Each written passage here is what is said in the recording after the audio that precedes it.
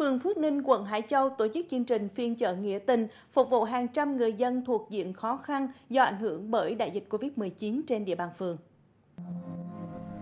Phiên chợ có 16 gian hàng miễn phí, gồm các sản phẩm thiết yếu như gạo, dầu ăn, thịt, rau củ, sữa tươi. Đây cũng là 16 sản phẩm thiết yếu trong mỗi giỏ hàng mà người dân được nhận khi đến đây.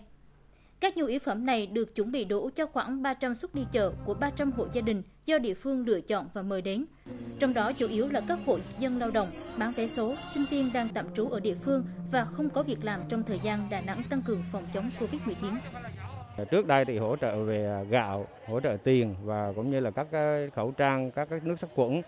Đợt này thì lãnh đạo địa phương là kết nối cùng với lại các doanh nghiệp là hỗ trợ về các cái mặt hàng thiết yếu, các cái nhu yếu phẩm À, vừa là tạo cho các cái hộ nghèo hộ khó khăn trên địa bàn à, có cái à, bữa cơm sum họp với gia đình và cũng tạo điều kiện kết nối với là các doanh nghiệp để tạo các sản phẩm đầu ra cho các doanh nghiệp có cái điều kiện thuận lợi hơn và từ đó thì sẽ mang lại cái niềm vui niềm hạnh phúc cho các cái gia đình khó khăn trên địa bàn của phường.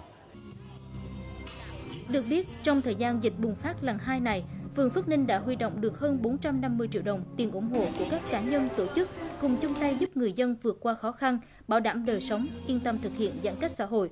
Riêng kinh phí cho 300 thẻ đi chợ nghĩa tình sáng nay là 130 triệu đồng. À, buôn bán vừa khó khăn thì thấy gì đi là đỡ cuộc sống trong gia đình thì đang chừng đây được khoảng 2 3 ngày nữa. Bị 42 ngày mới bán được có 2 ngày nữa chứ mấy. Cho như đây là qua cân khổ ông đỡ, ông mừng. Theo ghi nhận, mọi người dân vào phiên chợ đều được đo thân nhiệt, rửa tay sát khuẩn và yêu cầu mang khẩu trang đúng quy cách. 300 phiếu được chia làm 6 đợt vào chợ nhằm bảo đảm quy định về giãn cách, tránh tập trung đông người.